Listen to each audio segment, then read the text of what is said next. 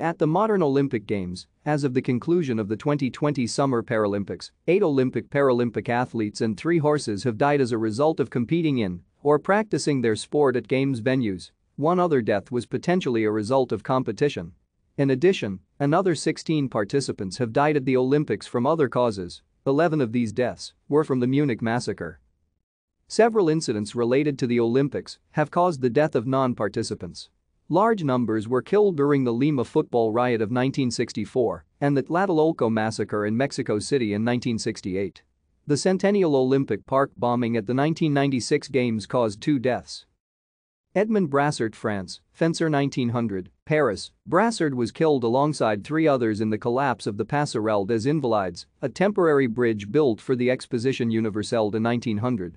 This occurred two months after he participated in the Olympic Games, but also two months before the Games concluded.